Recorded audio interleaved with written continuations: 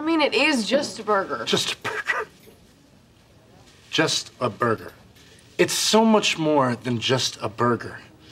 I'm, I mean, that first bite. Oh, what heaven that first bite is.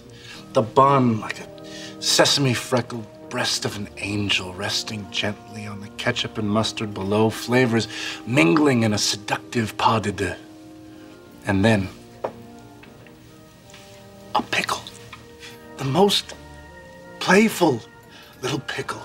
And then a slice of tomato, a leaf of lettuce, and a, a patty of ground beef. So exquisite.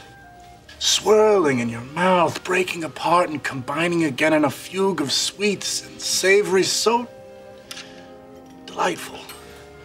This is no mere sandwich of grilled meat and toasted bread, Robin. This is God speaking to us through food.